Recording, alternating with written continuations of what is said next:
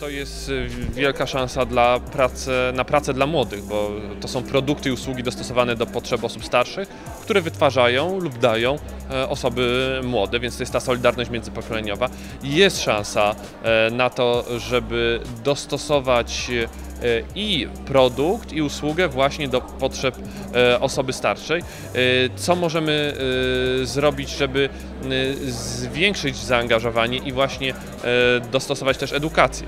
Po pierwsze praktyczne umiejętności i inwestycja w tak zwane białe miejsca pracy, czyli w usługi opiekuńcze, to są asystenci osoby starszej, e, to jest cały e, kontekst medyczny, pielęgniarki, lekarze, ratownicy medyczni, ale właśnie ta sfera też opieki socjalnej, opieki społecznej, więc tutaj są potrzebne kierunki na poziomie średnim i na poziomie wyższym E, i oczywiście praktyczne umiejętności na każdym poziomie. Nie ma dzisiaj już dobrego wejścia na rynek pracy bez praktycznych umiejętności, czyli bez kształcenia dualnego. W jednym czasie nauka i praktyka.